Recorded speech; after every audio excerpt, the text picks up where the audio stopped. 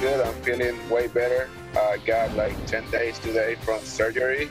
I'm feeling better with therapy. I'm moving uh, more my my arm. I'm feeling better every day. When we spoke to you at the end of the season, you weren't 100% sure that you would need surgery. What told you that you definitely needed to get those removed? And how much is there peace of mind now knowing you're not going to have to worry about that?